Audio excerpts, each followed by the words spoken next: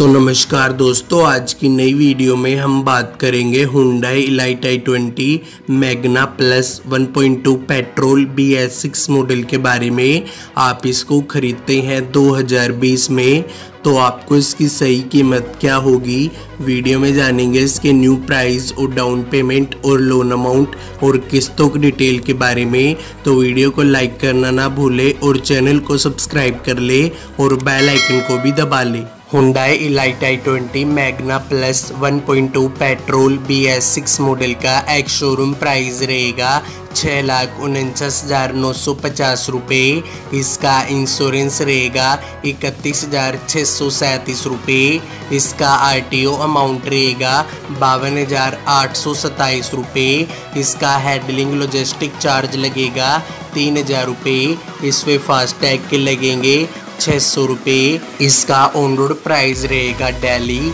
इसका on road price है सात लाख अड़तीस हज़ार चौदह रुपये तो दोस्तों, ये इसकी कैश प्राइस डिटेल आपका बजट कम है, आप इसको फाइनेंस करवाएँगे तो इसकी डाउन पेमेंट रहेगी दो लाख पचास हज़ार रुपये इसका लोन अमाउंट रहेगा चार लाख अट्ठासी हज़ार चौदह रुपये इसकी इंटरेस्ट रेटिंग रहेगी nine point five percent time समय पाँच साल के लिए इसकी हर महीने की ईएमआई जाएगी दस हज़ार दो सौ उनचास रुपये इसका टोटल अमाउंट रहेगा आठ लाख चौंसठ हज़ार नौ सौ बावन रुपये तो दोस्तों, आप दिल्ली शहर में नहीं रहते हैं और किसी सिटी में रहते हैं तो इस वीडियो पर कमेंट करें। मैं आपको पूरी कोशिश करूँगा एक्यूरेट प्राइस बताने की। तो वीडियो को देखने के लिए धन्यवाद। Thank you very so much